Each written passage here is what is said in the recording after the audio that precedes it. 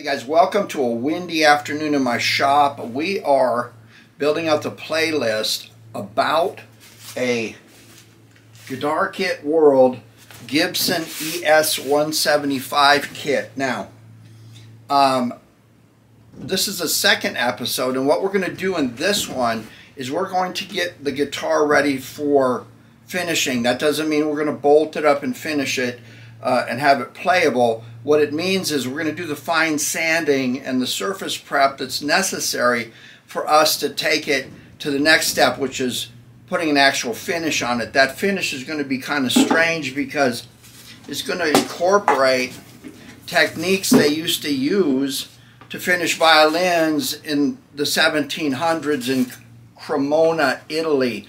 So we're going from the name called Mississippi Mudslide, which originated when I found this set of refrigerator magnets about 15 years ago. So we're going to go from ridiculous to, I don't know, semi-scientific. But in the opening episode, I told you about the dilemma I had with, I started off building cigar box guitars, license plate guitars, coffee can guitars, and was feeding trash blues artists. And then I moved up to arch tops and my instruments, even the junk ones that I first started with, were, were known to be individual and reliable. Then I started running around the LA market and picking up these old trashed out 40s, 50s, and 60s.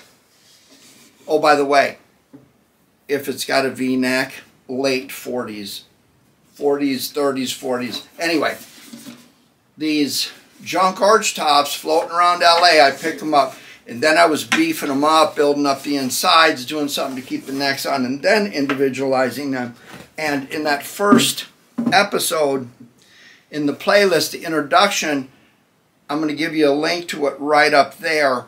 You're going to see why I did this, what the uh, influence was on me, and how I made the jump to the kit. And then in that episode, we actually open up the kit and have a look at it right out of the box to see what the quality of it looks like. Okay, I want to remind you um, that through this series of episodes, the Texas junk pile here, um, you've seen this before, you've seen a lot of artists play it.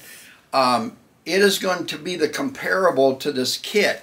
Um, the body shape is the same, it looks the same. Um, but again, the idea is there's not going to be a lot of the prep work and the structural stuff I have to do on the side of the guitar to make this turn out to be this. Again, this guitar was an uh, ES 175 knockoff, I think from Japan, made somewhere in the 60s. And um, I picked the uh, Guitar Kit World ES 175 kit strictly because of the pocket. Again, hover up there where the eye is and it will show you that episode. Once we're done, we're going to get um, an entire playlist that takes you through this build start to finish good bad and ugly. I'm not compensated by this kit maker or anything like that. This is about me moving into a new world of durability. Now before we get the overhead shot on this and watch what i do you'll notice that there's a couple things put together on this guitar already because i need to get the holes that i need to drill in this and done, I want every hole that is going to need to be in this guitar, whether it's on the neck, um, you're going to see me put relic wood like I usually do. You're going to see coins drop in where when you're dropping down into the 12th fret with your slide, your thumb knows where to be. There's going to be historical significance. There's going to be influences on blues of people and bits of wood from either where they were recorded, where they died, or where, where their church was embedded in here.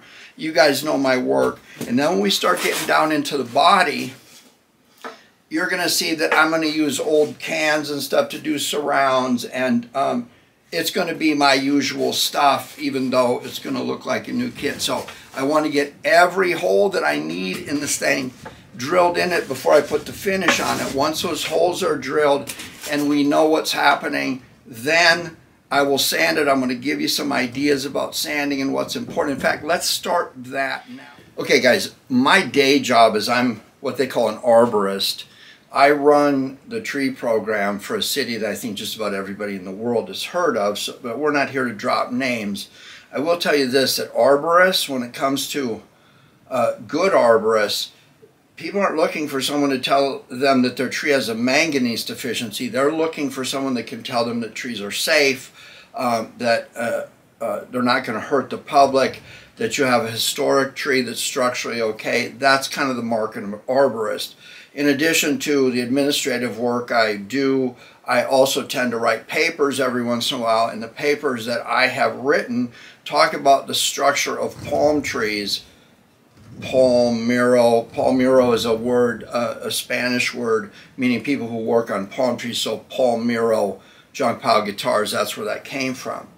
But if I go out and speak at a conference or write a paper, the comparison is always the hardwood trees that you guys are likely having because only in the temperate regions of the world uh, palm trees exist. The rest uh, uh, of the world, they're not really that important. Now, we know that regular trees put on wood, like you see in this pattern, rings year after year, another ring. I'm grabbing something here that's going to be important here in a minute, trust me. Um, but the rings grow on top of each other, kind of like you would stack cups or something. So you get these tubes or pipes. We know that pipes don't have to be solid to support a structure. We're talking metal pipes and columns, and, and trees are kind of the same way. They have some tissue in between the rings, but they work kind of the same way. And in fact, some trees can be hollow up to a certain extent before they lose their ability to handle gravitational loading. Anyway, if you want to really, really um, read anything I've written about all this stuff and you find it fascinating, first thing you need to see a psychiatrist. Next thing is you can send me an email. My email is always at the end of the episode. So, that said, when we're working on guitars, sanding guitars, or doing necks or anything like that, you want to remember that it's not economical. The best cut of wood would be across the diameter.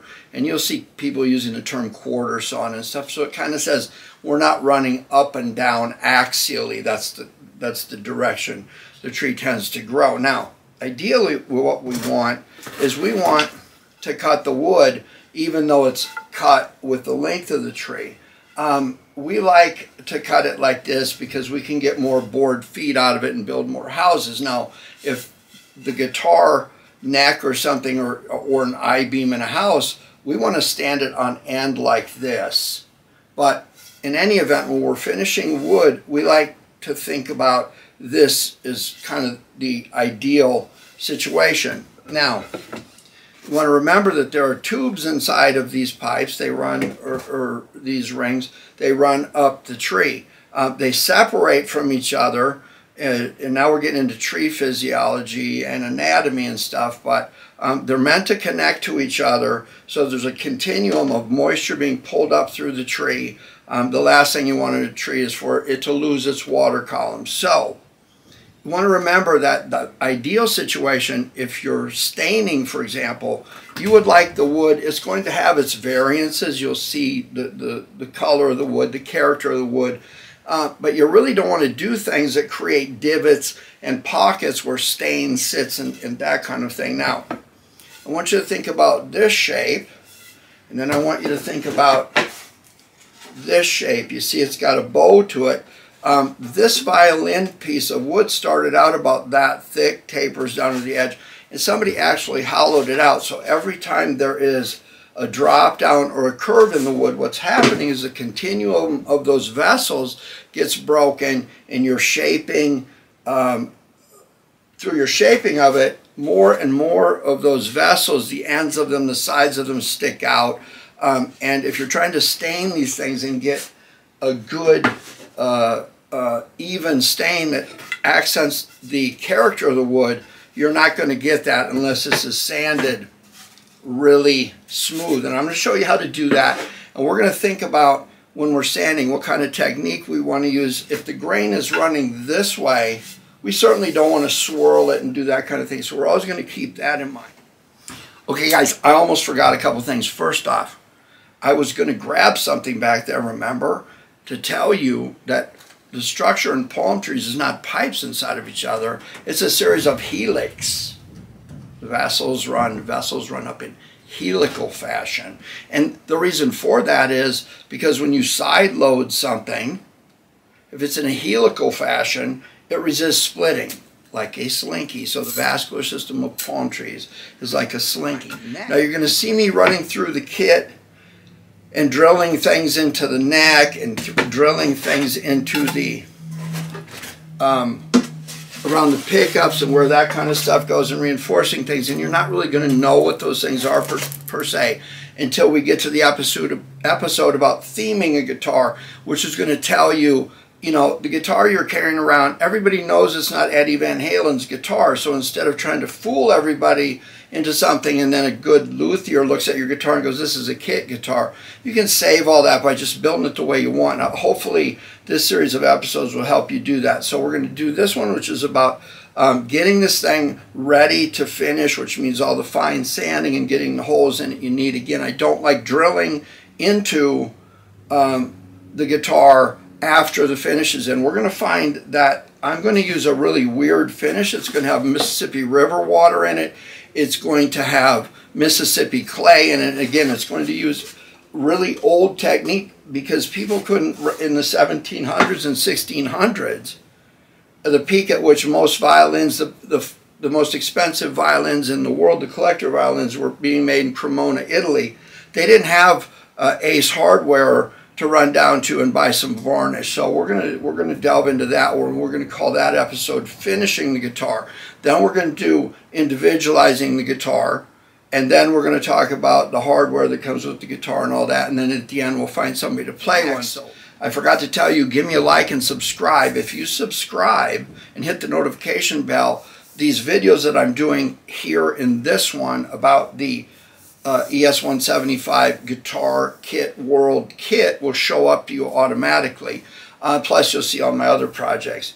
And finally, nobody likes to listen to a saw or a drill, so I'm going to cut that noise out as I'm going along. You're going to see me drilling holes in the neck. You're going to see me doing things, and you're going to say, what are you doing? Well, you'll find out later on in the theming episode. But when we're hearing those noises that we don't really want to talk, listen to, I'm going to give you some music by Wendy Jean Garrison. Now, Wendy is down in Mississippi. She plays slide guitar. She is not like Troy Murrah or Bob Log III or anything like that. Her music tends to be along the lines of something you would hear from Leo Kottke or something like that. Good guitar, good music. Wendy Jean Garrison. I'm going to give you a link down below uh, in the resources section. Always check that when you're asking where do I get something, who is that that I'm hearing?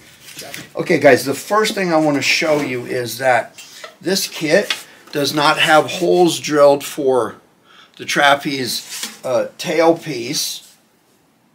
Um, it doesn't have holes drilled for the surrounds that mount the pickups.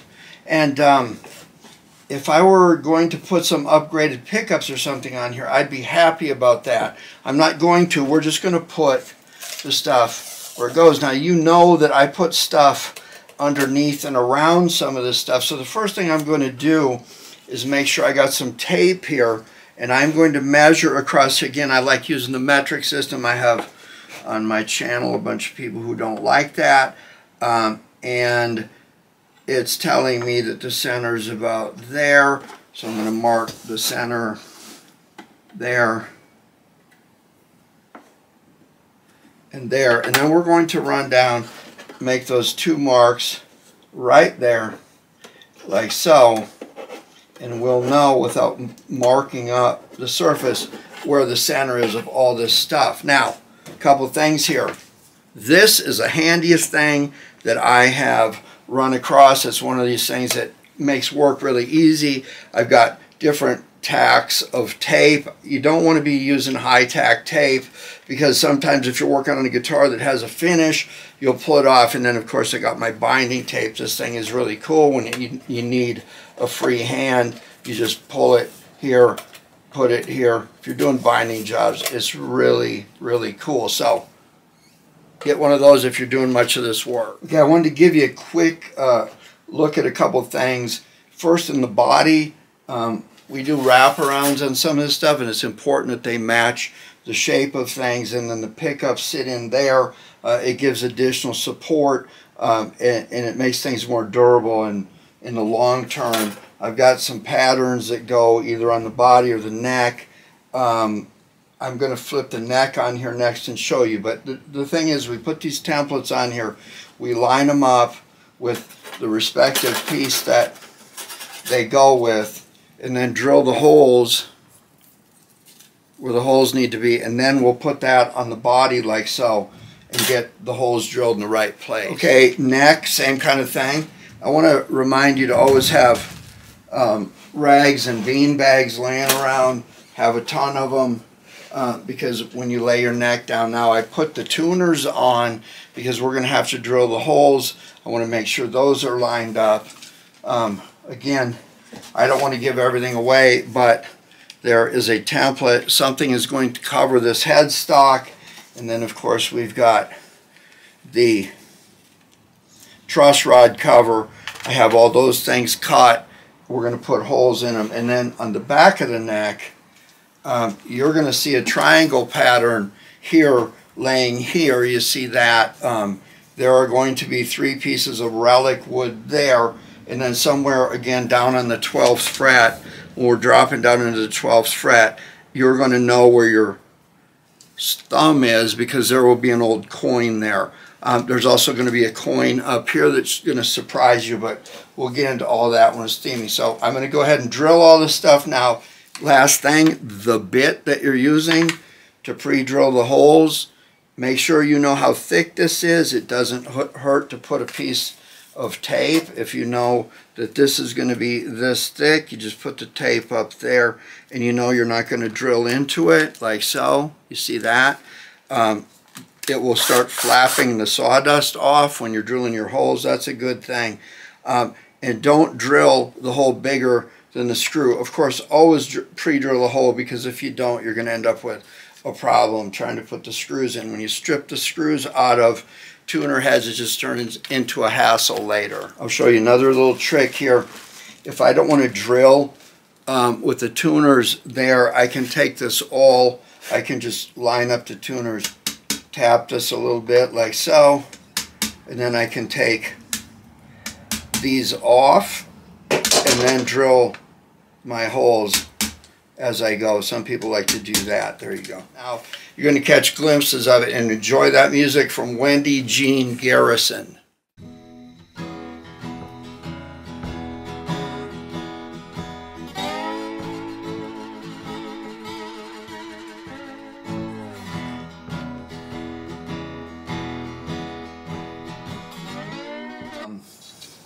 Did a bunch of layout here and I am going to take this rag away from here and we're going to use this cork neck stand. always have one of these. You can turn it in any different way. Set it back up here on the edge of the drop down. And again, I reference putting relic wood in here, which I'm going to use this pattern for.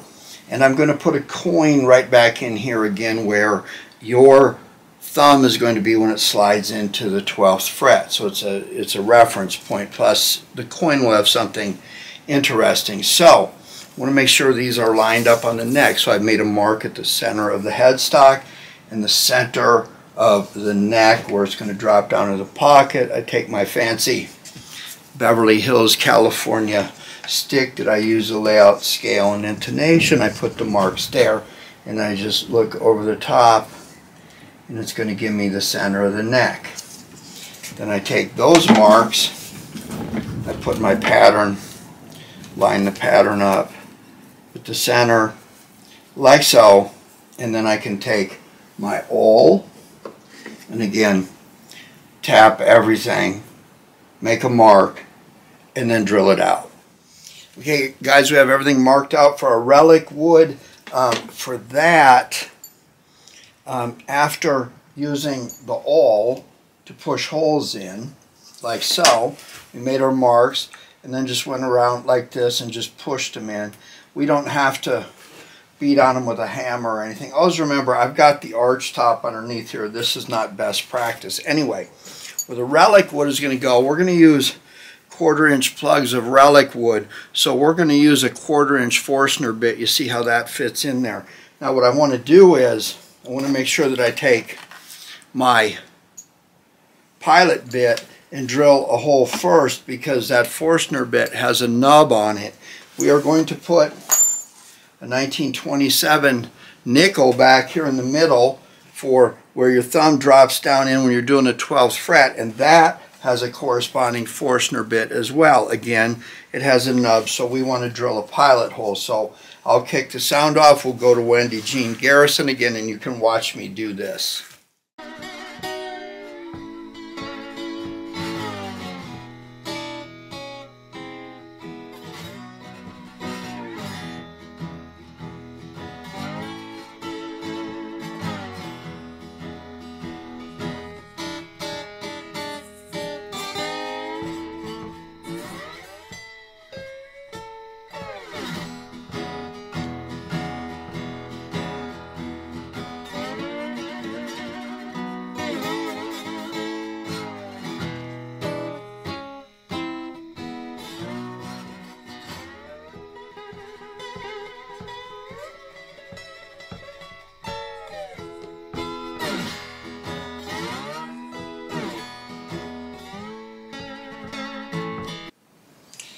Okay, so next we're gonna, just going to do the same thing here. We're going to um, use the pattern, push with our awl little marker holes in there, um, drill the starter hole with a small bit like this. We want to remember there's going to be another coin up here. My stuff's jumping off the table now. There's going to be another coin up here. It's not going to be a nickel. It's going to be specific to something in Mississippi. And now what we're going to do is we're going to figure out when we lay the tuners back in here, whatever this cover is going to be is going to have to be fitted so the tuners come up and through. Make sure there's no clashes with any of the hardware. And that is where what will determine what the coin is. We'll do the same thing. We'll drill a starter hole. We'll drill a hole the size of the coin through the cover and down into the headstock. Anyway, that's about it for the headstock. Um, we've got a couple more things to do on the body and I'll show you what that looks like now. I think you're catching on pretty quick. We find the middle of the guitar. We lay uh, out some tape so we don't mark up the guitar body. It's going to tell us where our tailpiece needs to be back here when we drill these three holes by determining that it sits like so and then rides up here. We want to make sure that those holes are right. Anyway, we lay this out like this, then we take our templates. We know that there's a cutaway that the neck needs to fit down between here. So I line up those center marks there, do what I need to do. There and there. And then it's a matter of the surround that holds our pickup to drop right there. And then we just take the awl mark out those holes and then drill everything the way it needs to be.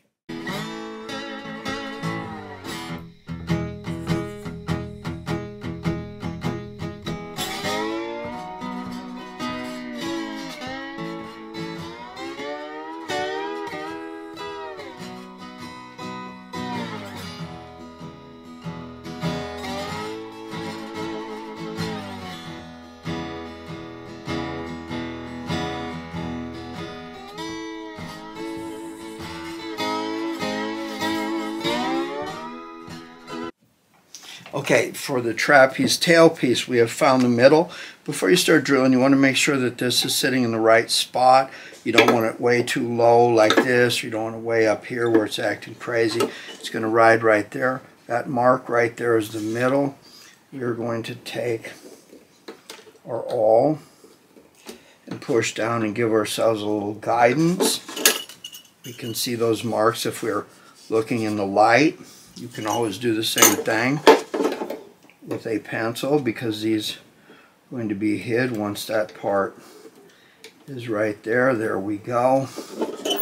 Now, one thing I have to tell you is that we're going to run a grounding wire um, so we don't get buzz or anything and it's going to come down it's going to wrap around one of these holes but we're going to drill a hole right about there it's got to go through all the way through the tail block and I'm going to make it a little bit bigger so that hole that wire grounding wire will come through, we'll strip it down, wrap it around once these anchor screws are in here and it will be hid under here and that way when somebody takes this off they ever have to it will be exposed. So let's get these drilled while we listen to Wendy Jean Garrison.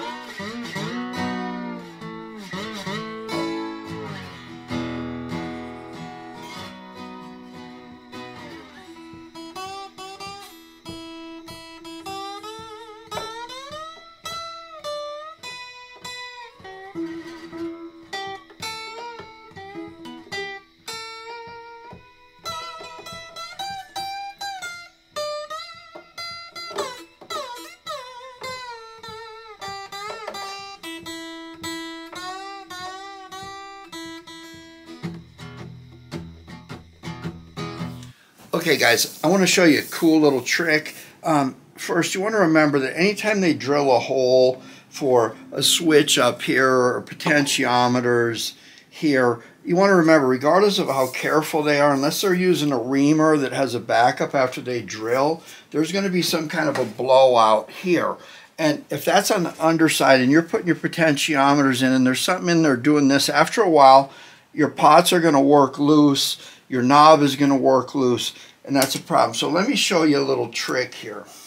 Um, always protect the top of your guitar. Now, I've told you in my other episodes that they make sandpaper. It's got backing on it. You see this using auto shops or whatever, but I'm going to cut a thin strip of 400 grit sandpaper, real thin, like so.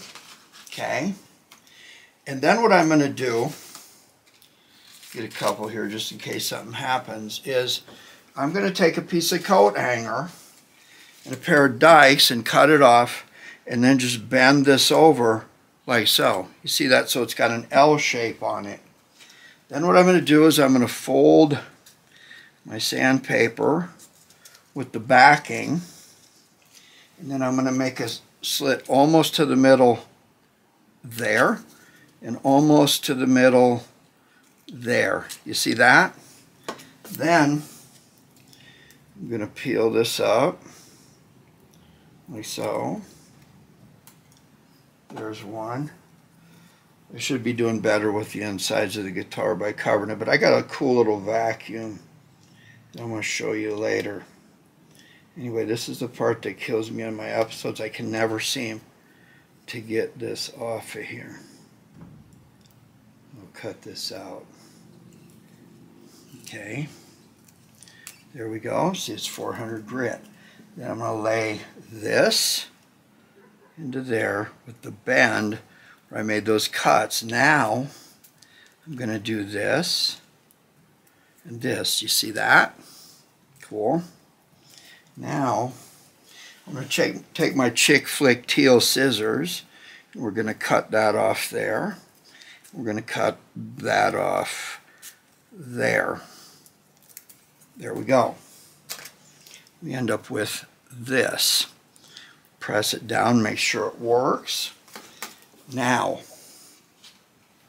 because it's L-shaped, you can put it down in the hole and you can pull up on this and spin it around and all of that burr if any that's laying in there gets taken off and the hole that your pot is going to sit against doesn't have anything to make it wobbly or offset then you take this piece here and you just put it in your toolbox all right, guys, we're finally ready. Sorry that took so long, but you know what? You've really got to have things in order. And once you start putting a finish on like we're going to, then you'll understand why this has been so critical to me. So the first thing I want to tell you is we're not going to use brushes and things on this. And um, it's my experience that when you start using brushes with the kind of thing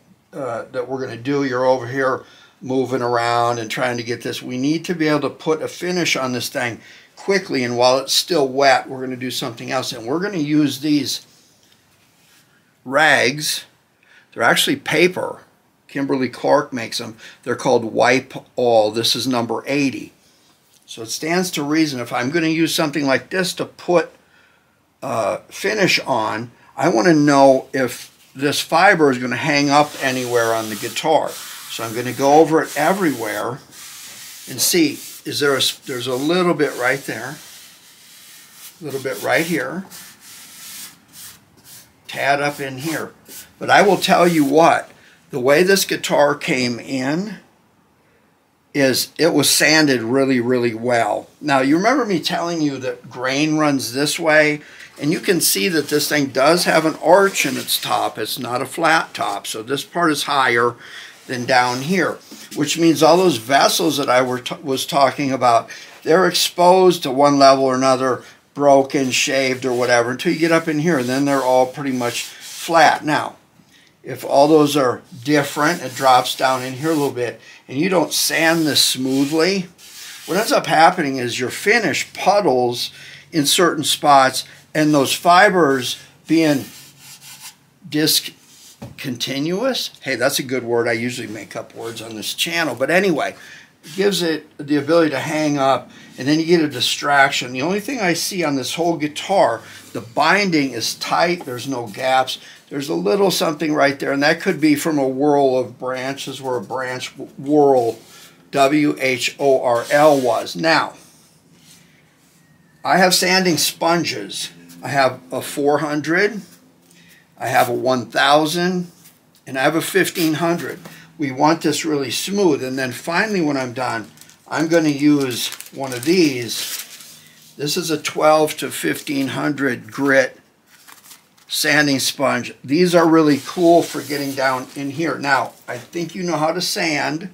Um, what I'm going to warn you against is don't do this. Get yourself comfortable. This thing will spin for me. I can turn it this way. I want the grain running with me. So I'm doing this and I'm doing passes like this. I'm not going to work on this area and then this area and this. I'm going to take, take passes like this. Take a couple passes like that. Come down the edge again. I want to be with the grain. I don't want to be swirling. Remember, when you swirl and cross that grain over, more of those fibers get affected, and then you'll end up with lines and stuff down in here. So it's first, it's just 400 all the way. Watch this piece right here. That can break off really easy, and that'll affect how everything sits. Don't be afraid to pick up and draw towards you. And we are just going to keep doing this.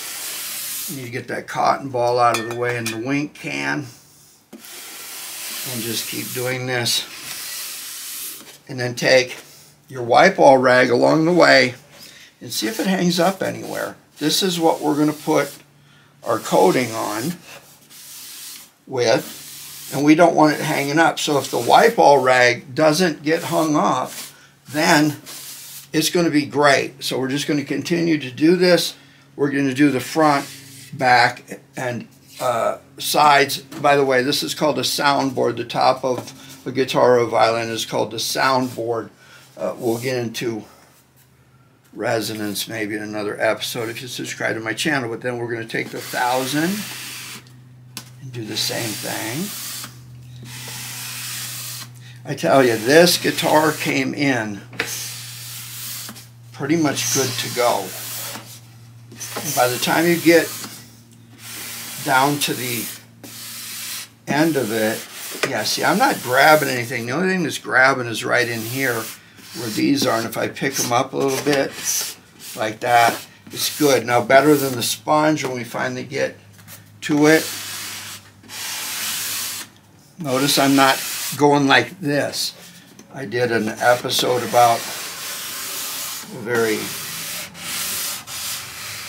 elementary, junky finish, and um, I was swirling it to make the starburst spray paint starburst um, come together a little bit better. But now we're into this, and this makes it really easy. In fact, you can get all of these, instead of using these thick sponges, you can use these and they're a little bit more expensive but once I get into this again, I, I might be going back and forth here, and, but I'm overlapping and I'm staying on the grain. Don't give in to the idea that you want to do this along this edge. You really don't want to do that. Um, this is going to become really important with the kind of finish we put on it. Um, the theme of this thing is ridiculous and the inspiration for it is equally ridiculous. But when you get into this finish, you're going to see we want this thing to absorb evenly. We don't, look at that. Nothing is hanging up. There's no dust coming off these WypAll number 80s. And we're going to finish with these. They're kind of expensive. They're 17 cents a piece, but you can wash them out. These are actually replacements for shop rags. You saw people that was using machine shops and things like that. But again, we're going to start here. We're going to see if there's any hang up, like so go around.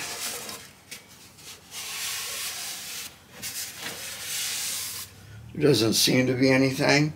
So we'll take, just like we did with everything else, I like having this table where I can just work with the grain.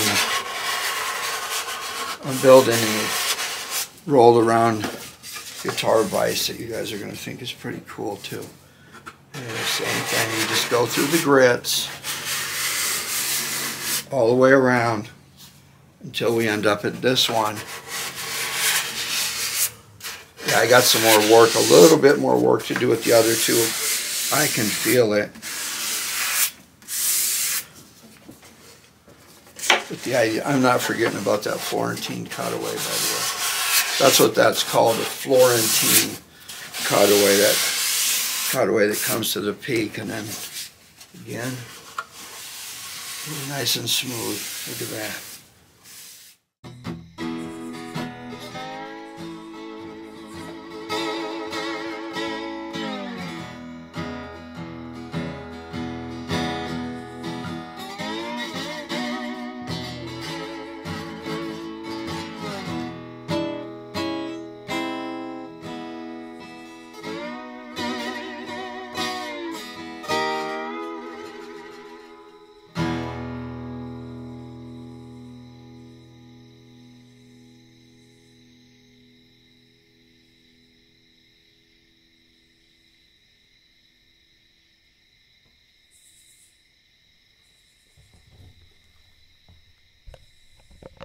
All right, there we go. Feeling good all the way around everywhere where we've drilled or worked is good. I'm really, really impressed with where this neck pocket is. Usually this is really rough and I can run 1500 grit sanding sponge over it and it doesn't pick up hardly anything. I'm really impressed with that. Okay let's get the neck up here and take a couple look look at things there and we'll wrap this episode up. All right, we've got all of our holes drilled. It's basically the same thing. I'm not going to worry too much about this right here because um, I'm going to put a cover over that. But since we're looking at something that you might be using uh, for your own project, it may be really important to you that this is pristine. So even after I've drilled the holes, I'm taking the WypAll rag, and this is where I would expect a lot of slop. This is where people usually fail uh, on a guitar neck, is this kind of stuff has to be radiused smoothly. And again, as I take this over, there's nothing there. Um, the only place that I saw was a little bit where it hangs just, I can feel it just ever so slightly is up here. Now remember, this is going to fit down in here. And this is the make it or break it on this kit for me, but we're going to do the same thing. You all know that Tammy signs my guitars. Now you can see these little crimps here, these little divots where I tighten down the tuners. The finish that I'm going to put on here is going to shock you because it's going to put the skids to that. And um, I can put my neck rest with the it's made out of cork back here and get this up here like this where it's easy to work on again we're just going to take the 400 and we're going to stay on the grain and just go all the way up and do so. Go down the sides like this. This is what's nice about these sponges. Again this is going to be junky so not really critical to me and your fingers aren't going to be running over here and stuff but I do like this stuff to be nice. I don't like seeing these split out. There's none of that um, when you're putting um, relic wood in here there's a truss rod in there. Don't forget about that. We missed the truss rod here. It runs right through here. Now the only place I created a little problem for myself is that Forstner bit doesn't work well on radiuses. So when I put this coin in here like this I'm going to have to do a little bit of extra work with maybe a little bit rougher sandpaper and then transition this down to where it's nice and smooth. You don't want your fingers hanging up, but I do that a lot and it's easy. Um, here, it's just a matter of up and down, up and down, up and down, like so, turning it like this. I wanted to point out to you, I mentioned this in the opening, when you run down your frets, usually hot and cold coming from one place to another, these will start to stick out a little bit because the frets don't uh, swell up and, and, and shrink. It's the wood that does. So when things start shrinking, that's what, but very little work to do there. Uh, but again, does your WypAll 80 hang up? And the answer is no. So I'm going to give this a once over with sanding rag and I'll work on this right here a little bit to make sure that that coin fits in there. But yeah, this thing's good to go. All right, there we go. Uh, I really, really want to encourage you to check down below and see Wendy Jean Garrison's link down there. You can get that music. It's good to fall asleep to. Um, again, if you don't want to get all stressed out, anxiety attack, listen to some stuff I listen to. Um, yeah, did you see? Um, there's a Bullet Boys t-shirt back there somewhere. But anyway, Wendy Jean Garrison, thank you for the music. Now, um, this thing is ready to go. It's going to take a finish well. So as we go into the next episode, look for us to number one, seal it. And then number two, do a weird technique using ground material and dirt and all kinds of stuff to give this guitar a finish that's going to fit really well with its theme, the Mississippi Mudslide. You're going to see uh, live clips of stuff being collected from Mississippi, so you, you don't think I went down into uh, somewhere down here in the cultural capital world, act in California, put this stuff together. This is real, son, so I will see you in the next episode. Thanks for watching. Don't forget to give me a like and click subscribe.